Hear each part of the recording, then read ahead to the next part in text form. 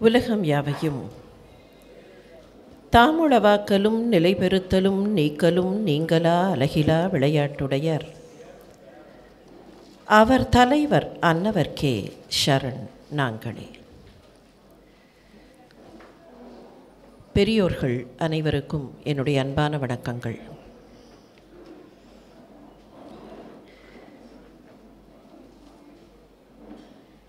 கம்பநாட்டாழ்வாருக்கு நடைபெறுகிற மிகச் சிறப்பான ஒரு விழா இது. இந்த விழாவில் கம்பரை அடியேன் கண்டிருக்கக்கூடிய ஒரு சில நோக்கங்களிலே இருந்து இங்கே படம் பிடித்து காட்டலாம் என்று கருதுகிறேன். தனக்கு முன் சென்ற சான்றோர்கள் அவர்கள் கொடுத்திருக்கக்கூடிய விழுமியங்கள் அவற்றையெல்லாம் உள்வாங்கிக் கொண்டு தனக்கு பின்னால் வரக்கூடிய சான்றோர்களுக்கு ஒரு மிகப்பெரிய பாதையை போட்டு கொடுத்தவர் கம்பர். இவ்வாறு போட்டு கொடுக்கப்பட்ட அந்த பாதை சாதாரண கவித்துவ பாதை அல்ல அது ஒரு பண்பாட்டு பாதை. ஒரு காப்பியத்தை பாடும்போது அந்த காப்பியத்தை தேர்ந்தெடுத்திருக்கக்கூடிய கவிஞருக்கு பலவிதமான சிக்கல்கள் எழும். அதுவும் தானே ஒரு கதையை தேர்ந்தெடுத்து கொள்ளாமல் ஏற்கனவே இந்த நாட்டில் பலவிதமாக புழக்கத்தில் வந்திருக்கக்கூடிய ஒரு கதையை தேர்ந்தெடுத்து கொண்டு ஏற்கனவே மக்களால் மிக பெருமிதமாக போற்றப்படுகிற ஒரு கதைநாயகனை தேர்ந்தெடுத்து கொண்டு அந்த கதையை நடத்தும்போது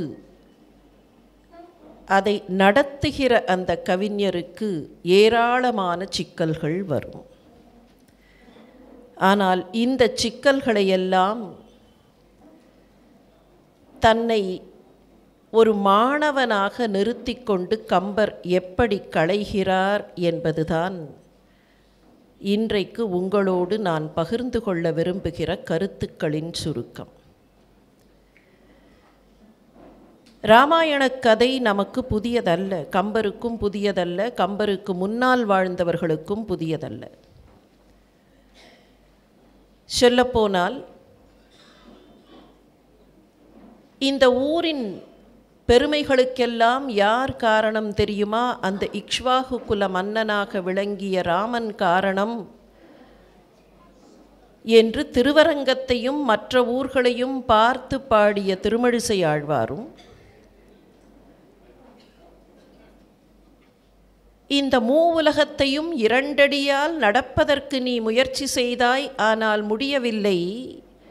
தாவிய சேவடி சேப்ப தம்பியோடு காண்போந்தாய் என்று பாடிய இளங்கோவடிகளும் சங்கப்புலவர்களும் ராமாயணத்தை இந்த மண்ணில் ஏற்கனவே பதியன் போட்டிருந்தார்கள். அப்படி அவர்கள் பதியன் போட்டிருந்த நிலையில் ஏற்கனவே மக்கள் கதை நாயகனை தெரிந்து வைத்திருந்த நிலையில் ஆசை பற்றி இந்த கதையை பாடத் தொடங்குகிறார் கம்பர். தமிழ் பண்பாடு ஒரு பக்கம் தமிழ் சான்றோர்கள் கொடுத்திருக்கக்கூடிய தகவல்கள் ஒரு பக்கம் இவற்றையெல்லாம் இன்னமும் ஆழமாக்கக்கூடிய ஆழ்வார்கள் நாயன்மார்களின் பக்தி ஒரு பக்கம். இவற்றையெல்லாம் சேர்த்துத்தான் கம்பர் தன்னுடைய காப்பியத்தை படைக்கிறார். கம்பர் இந்த கதையை படைக்கும்போது ஆழ்வார்கள் காட்டிய ராமனை காட்ட நினைக்கிறார். ராமனை பாடாதவர்கள் இந்த நாட்டில் இல்லை. ஆனால் ராமனை குழந்தையாக பார்த்தவர்கள் இந்த நாட்டில் மிக குறைவு. கண்ணனை குழந்தையாக பார்த்தவர்கள் ஏராளம் ராமனை குழந்தையாக பார்த்தவர்கள் அவ்வளவாக இல்லை. என்ன காரணம் பற்றியோ தெரியவில்லை. ராமனை குழந்தையாக பார்ப்பதற்கு நமக்கு ஒரு தயக்கம் இருக்கிறது. ராமன் விஷமம் செய்தான் என்றால் ஒத்துக்கொள்வதற்கு மனம் இடம் கொடுக்கவில்லை. ஆழ்வார்கள் கூட அந்த இடத்தில் சற்றே தடம் புரண்டார்கள். குலசேகர பெருமான் ராமனை வாத்சல்ய பக்தியில் பார்த்தவர். அதற்கு பின்னர் யார் ராமனை வாத்சல்ய பக்தியில் பார்த்தார்கள் என்று தேடி பார்த்தால் நமக்கு கிடைக்கக்கூடிய ஒருவர் கம்பனுக்கு மிகவும் பிற்காலத்தில் வாழ்ந்த தியாக பிரம்மம் ஜோஜோ ரகுகுல திலகா ராமா என்று ராமனை தாலாட்டு பாடக்கூடிய தன்மை அந்த தியாக பிரம்மத்தினிடம் இருந்தது. எங்கேயோ கம்பருடைய உள்ளத்தில் ஒரு சின்ன தாக்கம் பாதிப்பு இருந்திருக்க வேண்டும். இந்த ராமனை சின்ன குழந்தையாக பார்த்து வளர்க்கக்கூடிய வாய்ப்பு எனக்கு கிடைக்காதா? அந்த பாதிப்பு அந்த ஆசை அந்த உள்ளார்ந்த ஆவல் எங்கே தலை காட்டுகிறது தெரியுமா? மிகச் சிறியதாக ஓரிடத்தில். விஸ்வாமித்திரர் ராமனையும் இலக்குவனையும் அழைத்து கொண்டு போகிறார். இங்கே முன்னாலே நடந்த நிகழ்ச்சியில் பெருந்தகை ராஜா அவர்கள் வான்மீகத்தோடு கம்பர் காட்டியிருக்கக்கூடிய சில காட்சிகளை ஒப்பிட்டார்கள். விஸ்வாமித்திரரோடு ராமரும் இலக்குவனும் செல்கிறார்கள் என்கிற காட்சி ஏறத்தாழ வான்மீகத்திலும் கம்பரிலும் ஒரே மாதிரியாகத்தான் வருகின்றன. புறப்படுகிறார்கள். அயோத்தி மாநகரை கடந்து சரையு நதிக்கரை வருகிறார்கள். சரையு நதிக்கரையை தாண்டி சரையுவை தாண்டி அந்த பக்கத்தில் இருக்கக்கூடிய ஒரு சோலைக்கு செல்கிறார்கள். அந்த சோலையின் விவரங்களை விஸ்வாமித்திரர் தெரிவிக்க அதையும் தாண்டி இன்னும் சற்று நடக்கிறார்கள். கங்கையாறு குறுக்கிடுகிறது. கங்கையை கடக்கிறார்கள். கங்கையின் அக்கறையிலே இருக்கக்கூடிய மற்றுமொரு சோலையை நெருங்குகிறார்கள். அதை தாண்டி போகும்போது பாலை நிலம் வருகிறது. விஸ்வாமித்திரரோடு ராமனும் இலக்குவனும் பயணித்தார்கள் என்பதை காட்டக்கூடிய வால்மீகி ராமனுக்கு பெருமை சேர்ப்பதை விட விஸ்வாமித்திரருக்கு அந்த இடத்தில் பெருமை சேர்ப்பார். இந்த இரண்டு சிறுவர்களும் விஸ்வாமித்திரரோடு நடந்தது எப்படி இருந்தது தெரியுமா என்று கேட்டுவிட்டு சொல்லுவார். தனுஷ்பாணி ஸ்வ அலங்கிருத்தௌ குமாரௌ சாரு வபுஷௌ பிராதரௌ ராமலக்ஷ்மணௌ. விஸ்வாமித்திரருக்கு அலங்காரம் சேர்ப்பது போல குஷிகபுத்திரமாக இருக்கக்கூடிய அந்த விஸ்வாமித்திரருக்கு பெருமை சேர்ப்பது போல இந்த இரண்டு பேரும் நடந்தார்கள். எப்படி இருந்தது தெரியுமா? என்று தொடர்வார். சிவபெருமானுக்கு இரண்டு பக்கத்திலேயும் சிவனுடைய இரண்டு மகன்கள் நடந்தால் எப்படி சிவனுக்கு இன்னும் ஒளி கூடுமோ அப்படி விஸ்வாமித்திரருக்கு இந்த இரண்டு பிள்ளைகளால் ஒளி கூடியது என்றார். ஆனால் இதே காட்சியை கம்பநாட்டாழ்வார் பாட வேண்டும். விஸ்வாமித்திரர் ராமனுக்கு சொல்லக்கூடிய பல கதைகளை எல்லாம் சொல்லிக்கொண்டே வந்துவிட்டு அந்த சோலையை தாண்டி பாலை நிலப்பகுதியில் அவர்கள் கால் வைக்கிறார்கள். பாலை நிலப்பகுதியில் கால் வைத்தவுடன் வால்மீகி காட்டுகிறார் விஸ்வாமித்திரர் பார்த்தார் அடடா பாலை வந்துவிட்டது. உடனே ராமனை அழைத்தார். துவம் மந்திர கிராமம் கிருஹாண. பலாம் அதிபலாம் ததா. ந ஸ்ரமோ நஜ்வரோ வா தேன ரூபஸ்ய விபர்ய அப்பா பாலை வந்துவிட்டது. ஒரு சொட்டு நீர் அருந்திக்கொள் நான் சொல்லக்கூடிய இந்த மந்திரங்களை எல்லாம் கிரகித்துக்கொள் இந்த பலை அதிபலை மந்திரங்களால் உனக்கு எந்த சிரமமும் ஏற்படாது. எந்த துன்பமும் வராது. உன்னுடைய உருவத்தில் கூட மாற்றங்கள் வராது. இதை விஸ்வாமித்ரர் சொல்லும்போது ஏதோ ஒரு மதர்ப்பு எனக்கு தெரியும் இந்த மந்திரங்கள் இந்த இந்த மந்திரங்களை நீ கிரகித்துக்கொள் என்று சொல்லக்கூடிய முனிவர்களுக்கே உரித்தான ஒரு மதர்ப்பு அங்கே துவனிக்கிறது. ஆனால் கம்பர் இந்த காட்சியை படைக்கிறார். பாலை நிலம். அந்த பாலை நிலத்தில் கால் வைக்கிறார்கள் இந்த சிறுவர்கள். பதினைந்து வயது கூட நிரம்பாத சிறுவர்கள். பார்த்தாராம் பார்த்த விஸ்வாமித்திரர் என்ன நினைத்தாராம்? இவர் பெரிது அளவில் ஆற்றலை பொருந்தினர் ஆயினும் பூவின் மெல்லியர். வருந்துவர் சிறிது என மனத்தில் நோக்கினான். அடடா மலர்களைப் போல மென்மையானவர்களாயிற்றே இவர்கள். மலர்களைப் போல மென்மையான இவர்கள் எப்படி இந்த பாலையின் வெம்மையை தாங்குவார்கள் என்று உள்ளத்தில் நினைத்தாராம். எப்படி நினைத்தார்?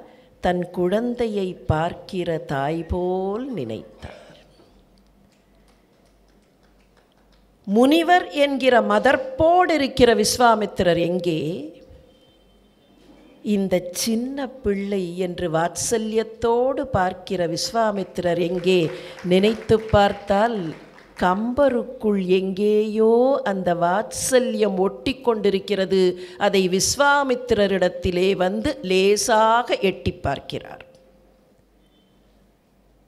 ஆழ்வார்கள் வழியிலே வந்தவர் தான் என்பதை காட்டக்கூடியதற்கு கம்பர் ஏராளமான இடங்களை பயன்படுத்துகிறார். ஓரிரு இடங்களை மாத்திரம் இப்போது பார்க்கலாம். நமக்கு தெரியும் அந்த நான்கு சகோதரர்களுக்கும் ராமன் என்றும் பரதன் என்றும் இலக்குவன் என்றும் சத்ருக்னன் என்றும் பெயர்கள். இந்த பெயர்கள் ஏன் வைக்கப்பட்டன? இந்த பெயர்களுக்கான காரணத்தை வால்மீகி கூறவில்லை.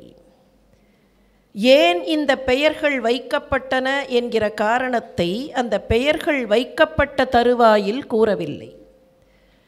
ஆனால் வசிட்டர் இந்த நான்கு பிள்ளைகளுக்கும் பெயர் சூட்டினார் என்கிற நிலையில் இந்த பெயர்கள் ஏன் சூட்டப்பட்டன என்கிற காரணத்தை கம்பர் கொடுக்கிறார்.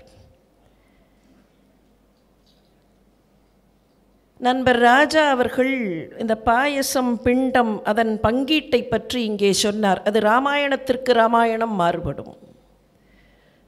ஒவ்வொரு ராமாயணத்திலேயும் இந்த பங்கீடு விதவிதமாக வரும். கம்பரை பொறுத்தவரையில் நான்கு சகோதரர்களையும் ஒளி என்றுதான் குறிப்பிடுகிறார். இதை ஏன் சொல்ல வேண்டியிருக்கிறது? வேறு சில ராமாயணங்களில் திருமாலின் அம்சம் ராமன் மாத்திரமே மற்றவர்களெல்லாம் அந்த திருமாலின் ஆயுதங்கள் என்பதாக கூட தகவல் உண்டு.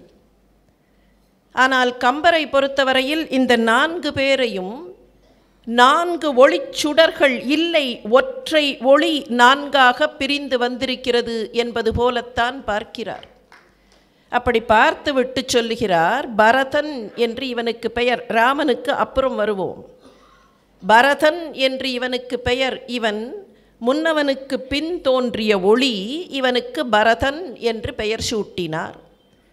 பரதன் என்கிற பெயருக்கு என்ன பொருள் என்று தேடி பார்த்தால் தாங்குபவன் என்று பொருள். இலக்குவனுக்கு இலக்குவன் வடமொழியில் அது லக்ஷ்மணன் லக்ஷணம் கொண்டவன் லக்ஷ்மணன். லக்ஷணம் என்றால் நமக்கு தெரியும். இலக்கணம் என்று சொல்லலாம். லக்ஷண லக்ஷிய என்று சொல்லுவார்கள். லக்ஷிய என்கிற போது அது இலக்கு. இலக்கை கொண்டவன் இலக்குவன். இறைவனுக்கு பணி செய்ய வேண்டும் என்கிற இலக்கை கொண்டவன் ஆகவே அவன் இலக்குவன் என்பதாக கொள்ளலாம். சத்ருகணனை பற்றி சொல்லும்போது மிக தெளிவாகவே கம்பர் சொல்லுகிறார் எத்திருக்கும் கெடும் என்பதால் இவன் சத்ருகணன். எத்திருக்கும் கெடும் எந்த வகையான பகையாக இருந்தாலும் இவனால் அது கெட்டுப்போகும் ஆகவே இவன் சத்ருக்னன் இப்படி மூன்று சகோதரர்களுக்கு ஒவ்வொரு காரணத்தை காட்டக்கூடியவர் ராமனுக்கு என்ன பெயர் என்று சொல்ல வருகிற போது ஒரு அழகான தகவலை செய்தியை சொல்லுகிறார். ராமன் என்ற சொல்லுக்கு காரணம் ரம்யமானவன் என்பதுதான் அதற்கான பொருள். யார் ரம்யத்தை தருகிறார்களோ அவர்கள் ராம. மனதிற்கு ரம்யத்தை தரக்கூடியவன் அந்த மனத்திற்கு ரம்யத்தை தரக்கூடியவன் என்பதற்கு இப்போது கம்பர் காரணம் சொல்லுகிறார்.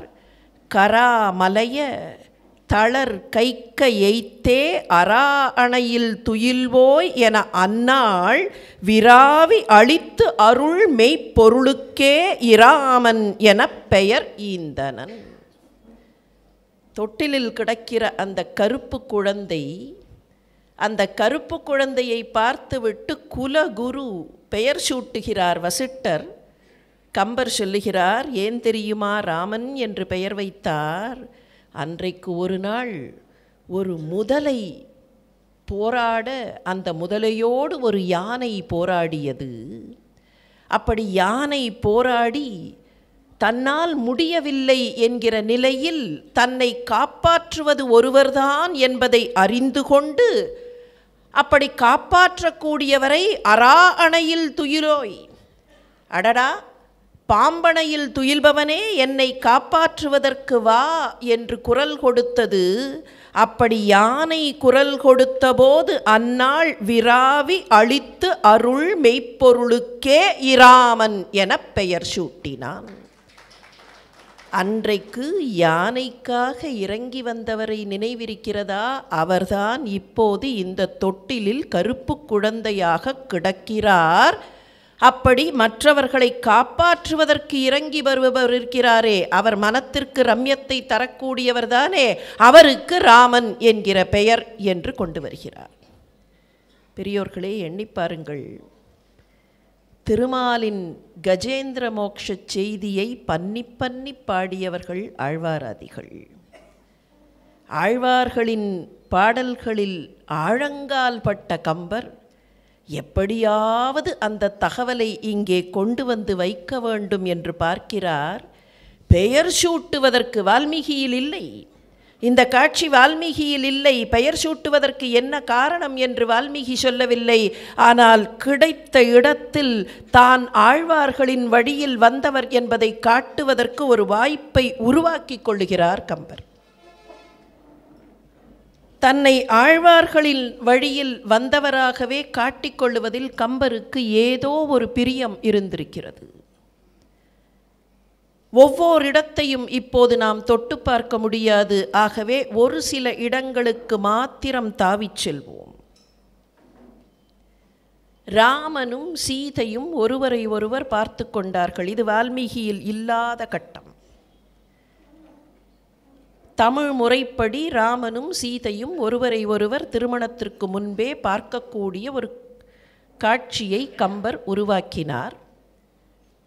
இந்த காட்சிக்கு பின் என்ன நடந்தது என்பது கம்பரை பன்னி பன்னி படித்திருக்கக்கூடிய உங்கள் அனைவருக்கும் தெரியும்.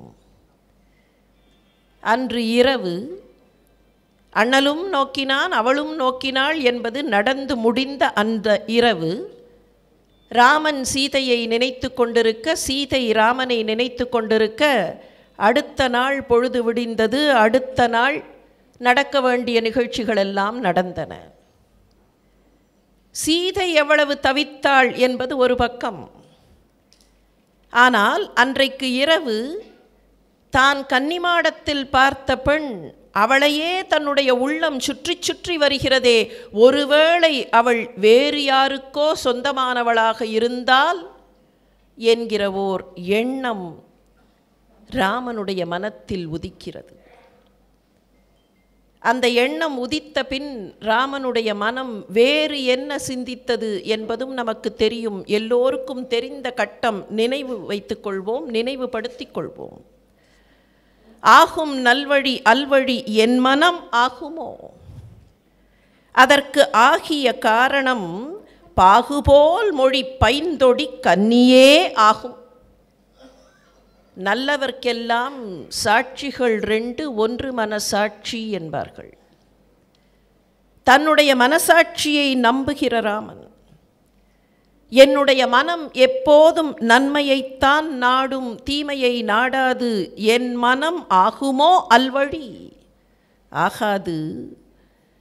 என்னுடைய உள்ளம் அவளையே சிந்திக்கிறது என்றால் அவள் கன்னியாகத்தான் இருக்க வேண்டும். இல்லை என்றால் என்னுடைய மனம் திரும்ப திரும்ப அவளையே சிந்திக்காது என்று தனக்குத்தானே ஒரு சமாதானத்தை சொல்லிக்கொண்டு தன்னுடைய மனசாட்சியை நம்புகிற ராமன்.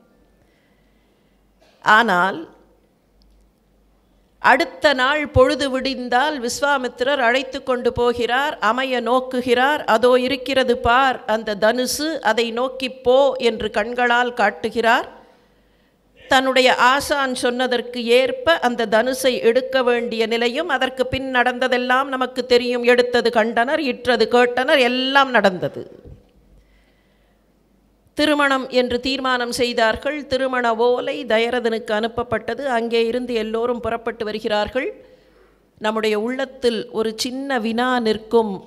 ராமன் ஒரு பெண்ணை பார்த்துவிட்டு இன்னொரு பெண் என்று நினைத்து அவள் யார் என்று தெரியாது. யாருக்காக சிவதனுசை முறித்திருக்கிறோம் என்று தெரியாது. சீதை எப்படி இருப்பாள் என்று தெரியாது. தான் பார்த்தது கன்னிமாடத்தில் சீதை என்பது தெரியாது. யாரோ ஒரு பெண் யாரோ ஒரு பெண்ணை தன்னுடைய உள்ளத்தில் தேக்கி வைத்துக்கொண்டு இப்போது சிவதனுசை நாணேற்ற வேண்டும் என்று சொன்னவுடன் அதை நாணேற்றிவிட்டு அந்த பெண்ணையும் மணப்பதற்கு ராமன் தயாராகிவிட்டானே இது சரியா? என்கிற ஒரு கேள்வி நம்முடைய உள்ளங்களில் எழுமா இல்லையா? கம்பர் இந்த கேள்வியை ஒரு பக்கம் ஒதுக்கி வைத்துவிட்டு இப்போதெல்லாம் திரைப்படங்களில் காட்டுவார்களே காட்சியை ஓட விடுகிறார் காட்சிகள் ஓடிக்கொண்டே இருக்கின்றன. தயரதனுக்கு செய்தி போகிறது. அங்கே இருந்து புறப்பட்டு எல்லோரும் வருகிறார்கள். வழியிலே என்ன நடந்தது என்றெல்லாம் பல படலங்கள். ராமனுடைய உள்ளம் எப்படி இருக்கிறது என்று நமக்கு தெரியாது. தயரதனும் மற்றவர்களும் வந்து சேர எல்லோரும் சபையில் அமர்ந்திருக்கக்கூடிய நிலையில் அந்த மணப்பெண்ணை அழைத்து வாருங்கள் என்று சொல்லுகிறார்கள். சீதையை அலங்காரம் செய்து அழைத்து வருகிறார்கள். அவள் உள்ளே வருகிறாள். அன்னமும் அறம்பயருமார் அமிழ்தும் நாண மன்னவை இருந்த மணி மண்டபம் அடைந்தாள். அவள் வருகிறாள். இப்போது ராமனுடைய உள்ளம் இவ்வளவு நாட்கள் எப்படி துடித்து கொண்டிருந்தது என்பதை கம்பர் காட்டுகிறார். இவ்வளவு நாட்கள் இந்த பெண் யார் என்று தெரியவில்லையே. எந்த பெண்ணை என்னோடு திருமணம் செய்து வைப்பதற்காக இவர்கள் ஆயத்தங்கள் செய்கிறார்கள் என்று தெரியவில்லையே என்று தவித்து கொண்டிருக்கிற அந்த மனம் அந்த மனம் எதிரில் நிற்கக்கூடிய அந்த பெண்ணை பார்க்கிறது. பார்த்தவுடன் ராமனுடைய நிலை என்ன என்று பாடுகிறார்.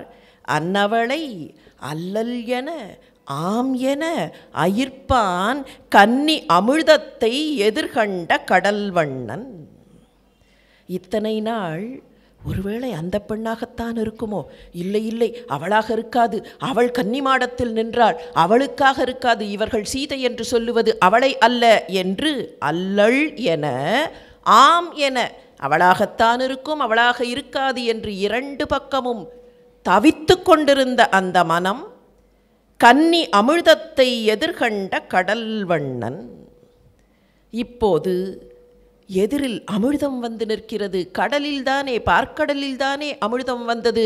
இல்லை இல்லை.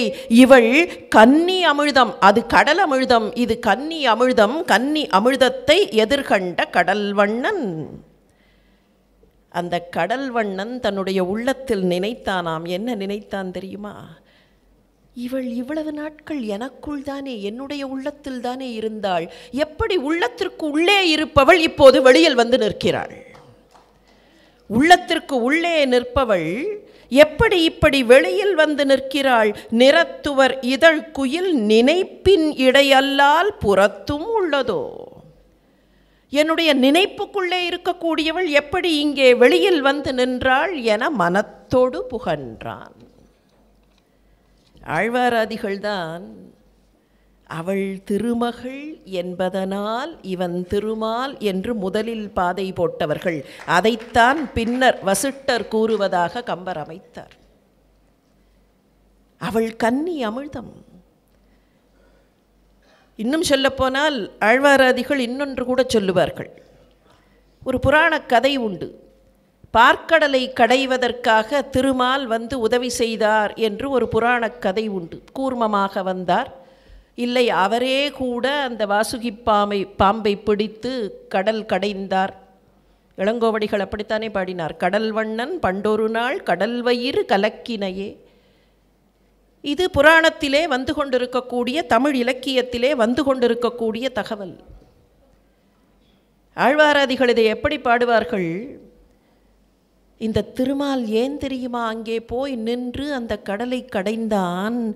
பார்க்கடலிலே இருந்து அமிழ்தம் வர வேண்டும் என்பதற்காக இவன் கடல் கடைந்தான். தேவர்களுக்கு உதவி செய்ய வேண்டும் என்பதற்காக கடல் கடைந்தான் என்று நினைக்கிறீர்களா? இல்லை இல்லை. அதெல்லாம் வெறும் முகாந்திரம். ஃபக்காட். இவனுக்கு உண்மையில் என்ன காரணம் தெரியுமா? என்ன ஆசை தெரியுமா? உள்ளுக்குள்ளே தான் திருமகள் இருக்கிறாள். அவளை வெளியில் கொண்டு வர வேண்டுமென்றால் இப்படி கடல் கடைவது போல் உதவி செய்தால் அவள் வெளியில் வந்து விடுவாள். அப்போது அவளை எடுத்துக்கொள்ளலாம் கன்னி அமிர்தத்தை தந்த கடல் வண்ணன் என்று அந்த ராமனை பாடிய கம்பர். ஆழ்வார்களின் மாணவராக தன்னை முழுக்க முழுக்க கம்பர் காட்டிக்கொள்ளக்கூடிய இடம் எது தெரியுமா? விராதன் வதை படலம் ராமனை விராதன் துதிக்கிற ஒவ்வொரு பாடலுக்கும் ஆழ்வார்களின் பாடல்களிலே இருந்து ஒப்புமை நேரடியாக கொடுத்து கொண்டே போகலாம். எல்லோருக்கும் தெரிந்த ஒரு பாடல்தான். தாய் தன்னை அறியாத கன்றில்லை ஆயும் அதன் கன்று அறியும். உலகின் தாயாகி ஐய நீ அருதி எப்பொருளும் அவை உன்னை நிலையறியா? மாயை இது என்கொலோ வாராதே வரவல்லாய். இந்த வாராதே வரவல்லாய் என்பது நேரடியாக நம்மாழ்வாரிடத்திலே இருந்து கம்பர் எடுத்து கையாண்ட வரி திருவாய்மொழி பாசுரம் வந்தாய் போலே வாராதாய் வாராதாய் போல் வருவானே. எங்கள் ஐயா தேன்யா அவர்களை வைத்துக்கொண்டு கொஞ்சம் ஈட்டு வரிகளை தொடுவதற்கு அச்சமாக இருக்கிறது. வந்தாய் போலே வாராதாய் வாராதாய் போல் வருவானே என்பதற்கு பிரதிவாதி பயங்கரம் சுவாமி அவர்கள் உரை தருகிறார்கள். மானச அனுபவம் கரை புரண்டு போகும்போது நோக்கினால் பாஹ்ய சம்ஸ்லேக்ஷம் விரக்தியில் அது அருகே வந்து நிற்கிறது. இந்த வைணவ பரிபாஷைக்குள் இப்போது போக வேண்டாம். இதை சுலபமாக புரிந்து கொள்ள வேண்டும் என்றால் எட்டியது போல் எட்டாதவனே எட்டாதவன் போல் கிட்டியவனே என்று உரை எழுதுகிறார் பள்ளத்தூர் பழ பழனியப்பன் அவர்கள். எட்டியது போல் எட்டாதவனே நீ பக்கத்தில் வந்துவிட்டாய் என்று நினைத்து கொண்டிருப்போம் ஆனால் வராமல் போய்விடுவாய். நீ வரவில்லை என்று நினைத்து கொண்டிருப்போம் எங்கேயோ பக்கத்தில் வந்து எங்களுக்கு தெரியாமல் நிற்பாய் வந்தாய் போலே வாராதாய் வாராதாய் போல் வருவானே. இதை அப்படியே வாங்கிக் கொள்கிறார். வாராதே வரவல்லாய் என்ன ஒரு சின்ன வேற்றுமை தெரியுமா? மன்னித்து விடுங்கள். ஆழ்வாராக இருந்தாலும் சில நேரங்களில் உள்ளத்தில் ஏற்படுத்துகிற உணர்வு அந்த உணர்வு தானே. நம்மாழ்வாரின் திருவாய்மொழி பாசுரத்தை பயிலும்போது வந்தாய் போலே வாராதாய் வாராதாய் போல் வருவானே என்று சொல்லும்போது எங்கேயோ ஓரிடத்தில் கடவுள் நம்மை ஏமாற்றி விடுவாரோ என்கிற அச்சம் துவனிக்கிறது வந்தாய் என்று நினைக்கும் போது வரமாட்டாய் வரமாட்டாய் என்று நினைக்கும் போது வருவாய் என்றால் தெர் இஸ் அன் அன்சர்டன்டி ஆனால் இப்போது விராதன் சொல்லுகிறான் வாராதே வர வல்லாய் நீ வந்து விடுவாய் என்கிற நம்பிக்கை. பக்தியில் அன்சர்டன்டி இருக்கக்கூடாது. பக்தி என்றால் நம்பிக்கை. ஃபெய்த் என்பார்கள். இன்னும் சில பேர் பிளைண்ட் ஃபெய்த் என்பார்கள். Bhakti will have to be blind only faith cannot be completely looking at things faith will have to be blind நான் ஒரே ஒரு கேள்வி கேட்கிறேன். நாளை பொழுது விடியும் என்று நம்புகிறோம். நிச்சயமாக நமக்கு தெரியுமா? அந்த காலத்து பெரியவர்கள் பொழுது விடிந்தால் என்பார்கள். நாளைக்கு இதை தருகிறாயா? அம்மா கிட்ட போய் அம்மா நாளைக்கு எனக்கு பிடிச்ச ஸ்வீட்டை சமைச்சு தரியானா? பொழைச்சி கிடந்தா பார்க்கலாம். அது பெஸ்ஸிமிசம் இல்லை. Looking at things the right way கடவுள் அதை செய்வார் என்கிற நம்பிக்கை. வாராதே வரவல்லாய் என்று சொல்லும்போது இருக்கக்கூடிய அந்த நம்பிக்கை. அது மாத்திரமல்ல வேதங்கள் அறைகின்ற உலகெங்கும் என்று தொடங்கி விராதன் பலபடியாக துதிக்கிறான். அதில் ஒரு பாடல் வருகிறது. கடுத்த கராம் கதுவ நிமிர் கை எடுத்து மெய் கலங்கி உடுத்த திசை அனைத்தினும் சென்று ஒலி கொள்ள. எந்த காட்சி தெரிகிறதா? அங்கே ராமன் என்று பெயர் வைத்தபோது முதலை இழுத்தது. அந்த முதலையோடு போரிட்ட கஜேந்திரன் அதிமூலமே அரா அணையில் துயில்வோய் என்று அழைக்க இறங்கி வந்த மெய்ப்பொருளுக்கு ராமன் என்று திருநாமம் என்றாரே இப்போது அதே காட்சியை சொல்லுகிறார். விராதன் சொன்னானான் விராதன் என்ன சொல்லுகிறான்? கடுத்த கராம் கதுவ நிமிர் கை எடுத்து மெய் கலங்கி அன்றைக்கு முதலை பிடித்து எழு இழுத்தது. அப்படி இழுத்தபோது தம்முடைய தம் தும்பிக்கையை தூக்கி மெய்யெல்லாம் கலங்கி உடுத்த திசை அனைத்தினும் சென்று ஒலிகொள்ள. இருக்கிற எல்லா திசைகளிலேயும் அந்த யானையின் பிளிரல் கேட்கும்படியாக கதறியதே அந்த யானையின் உரு துயரால் அடுத்த பெரும் தனி மூலத்து அரும் பரமே பரமே என்று எடுத்து ஒரு வாரணம் அழைப்ப நீயோ அன்று ஏன் என்றாய். எங்கே வைத்த பூட்டுக்கு எங்கே சாவி இருக்கிறது பாருங்கள் ராமன் என்கிற பெயருக்கு காரணம் எல்லோருக்கும் உதவு வருவதற்காக ஓடி வரக்கூடிய தன்மை. பெரியோர்களே கம்பருக்குள் ஒரு கம்பர் என்று இந்த சிந்தனையை தொட்டதற்கான காரணம் என்ன? அதை மாத்திரம் பார்த்துவிட்டு நான் நிறைவு செய்கிறேன். ஒரு காப்பியத்தை படைக்கும்போது அந்த காப்பியத்தின் நாயகன் தன்னேரில்லா தலைவனாக இருக்க வேண்டும் என்பது இலக்கணம் தரக்கூடிய மரபு. அந்த தன்னேரில்லா தலைவன் வீரம் செறிந்தவனாக இருக்க வேண்டும் என்று காட்டுவது இலக்கண நெறி. இந்த வீரத்திலேயே பல வகைப்பட்ட வீரங்கள் உண்டு. திரு ராஜா அவர்கள் போராண்மையை பேராண்மையை எல்லாம் தொட்டார்கள். ஹீரோயிசம் என்பார்கள். வீரம் என்பதை காப்பியத்திற்கு பொருத்தும் போது ஹீரோயிசம் என்று சொல்லுவார்கள். இந்த ஹீரோயிசத்தில் பல வகைகள் உண்டு. முதல் வகை what is called martial heroism martial heroism என்றால் போர்க்களத்தில் போரிட்டு செய்யக்கூடிய தன்மை. போர்க்களத்தில் வெற்றி பெறக்கூடிய தன்மை. இதற்கு அடுத்ததாக இன்டலெக்சுவல் ஹீரோயிசம் இந்த இன்டலெக்சுவல் ஹீரோயிசம் என்பதை அறிவு சார்ந்த வீரம் என்று சொல்லலாம். அது போர் சார்ந்த வீரம் இது அறிவு சார்ந்த வீரம். என்ன வித்தியாசம்? ஃபிசிக்கல் மைட் என்னிடத்தில் இருக்கக்கூடிய உடல் பலத்தை தேக வலிமையை வைத்துக்கொண்டு சண்டை போடுவது மார்ஷியல் ஹீரோயிசம் ஆனால் அதே போர்க்களத்தில் இப்போதெல்லாம் சொல்லுகிறோமே ஸ்ட்ராட்டஜி அந்த ஸ்ட்ராட்டஜி வார் ஸ்ட்ராட்டஜியை பயன்படுத்தி வெற்றி கொள்வது என்பது இன்டலெக்சுவல் ஹீரோயிசம் சாமதான பேத தண்டம் என்பார்களே அந்த நான்கு வகையில் சதுரப்பாடு உடையவராக இருக்கக்கூடிய தன்மை. ஆனால் இதையெல்லாம் தாண்டி இன்னொரு ஹீரோயிசம் உண்டு. அந்த ஹீரோயிசத்தை தான் தமிழ் பண்பாடு செறிவாக காட்டியது சங்க நூல்கள் அந்த ஹீராயிசத்தை தான் மதித்தன. அதற்கு மாரல் ஹீராயிசம் என்று பெயர். Moral heroism. போர்க்களத்தில் எதிரி நின்றாலும் அந்த எதிரியின் தன்மையை எதிரியின் பாசிட்டிவிட்டி என்றார்களே அந்த எதிரியின் பாசிட்டிவிட்டியை எதிரியின் உயர்வை மதிக்கக்கூடிய தன்மை. அதனாலே தான் எதிரிக்கு ஆதுரச்சாலையில் சிகிச்சை தர வேண்டும் என்றால் அவனை பகைவனாக பார்க்கக்கூடாது அவனை நண்பனாக பார்க்க வேண்டும் என்று தமிழ் மரபு சொல்கிறது. போர்க்களத்தில் அடிபட்டு விட்டது. அடிபட்டு விழக்கூடியவன் எதிர்ப்பக்கத்தைச் சேர்ந்தவன். ஆனால் அவனுக்கு இந்த ஆதுரச்சாலையில் சிகிச்சை தர வேண்டும். அவனை பகைவனாக பார்க்கக்கூடாது என்பது அந்த ஆதுரச்சாலையின் விதி.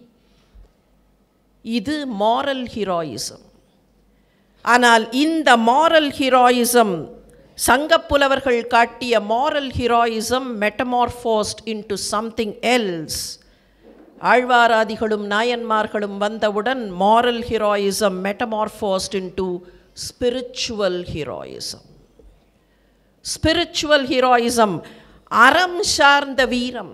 மாரல் ஹீரோயிசம் என்பது அறம் சார்ந்த வீரம். அறம் சார்ந்த வீரம் என்பது உள்ளத்து உணர்ச்சிகள் இல்லாமல் பக்தியின் ஆழம் இல்லாமல் இருக்கும் என்றால் எங்கேயாவது தடம் புரண்டு விடும். Morality is very relative at times. All of us know that. Very relative. அவர்கள் செய்தது சரியா தவறா என்று இங்கே இருந்து நான் ஜட்ஜ் பண்ண முடியாது. ஏன்னா அது ஜட்ஜ்மெண்டல் அவர்களுடைய சூழலில் அது சரியா தவறா என்பதை அவர்கள்தான் பார்க்க முடியும். அப்போ இந்த அறம் சார்ந்த வீரம் சில நிலைகளில் தவறு செய்து விடக்கூடும். ஆனால் எப்போது அறம் சார்ந்த வீரம் ஆன்ம வீரமாக மாறுகிறதோ அப்போது அது தவறு செய்ய முடியாது. அந்த எலவேஷன் இருக்கே ஸ்பிரிச்சுவல் ஹீரோயிசம் என்கிற எலவேஷன் அதை கொடுத்தது ஆழ்வார்களின் நாயன்மார்களின் பக்தி. அதனாலே தான் தன்னை ஆழ்வார்களின் மாணவனாக காட்டிக்கொள்வதிலும் ஆழ்வார்களின் மாணவன் என்கிற தன்மையில் எங்கேயெல்லாம் இடம் கிடைக்கிறதோ அங்கேயெல்லாம் அந்த செய்திகளை வைப்பதிலும் கம்பருக்கு அதீதமான ஒரு பிரியம் இருந்தது. ஒரே ஒரு கட்டத்தை நினைத்து பாருங்கள். நாகபாசம் போட்டு விடுகிறான் இந்திரஜித்தன்.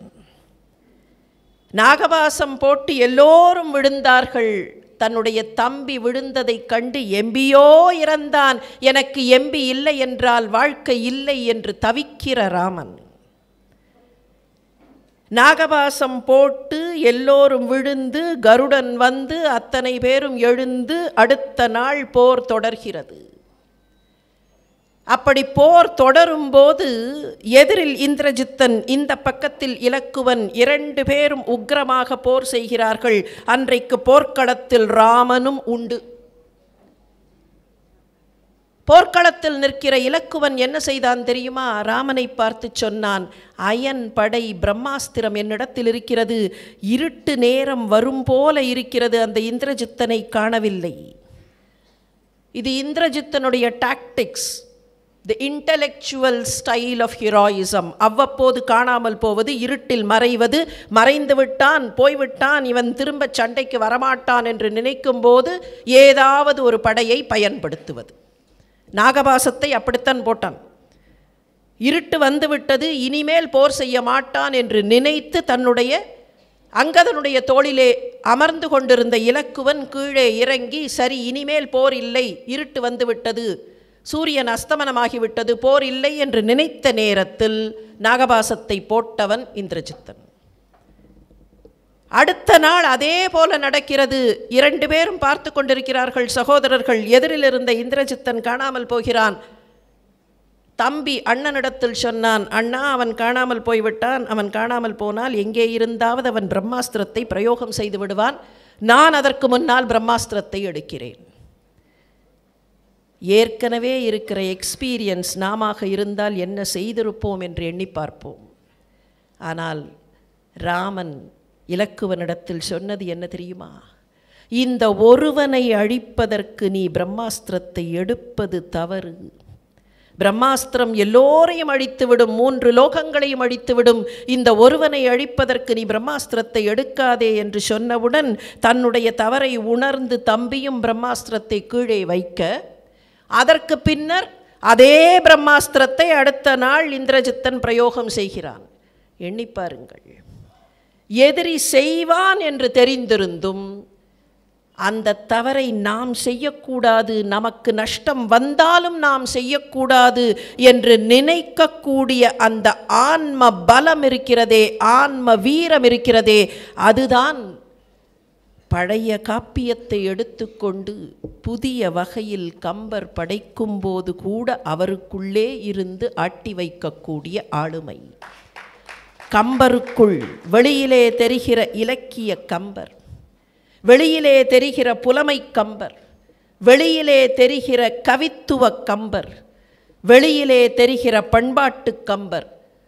இவர்களுக்குள்ளே எல்லாம் ஒரு கம்பர் இருக்கிறார். அந்த கம்பர் ஆன்ம பலத்தில் நிற்கக்கூடிய கம்பர் உற்று பார்த்தீர்களென்றால் அவர் எப்போதெல்லாம் எட்டி பார்க்கிறார் என்பதை உங்களால் உணர முடியும் என்பதை சொல்லி வாய்ப்பளித்தமைக்கு நன்றி பாராட்டி விடைபெறுகிறேன். வணக்கம்.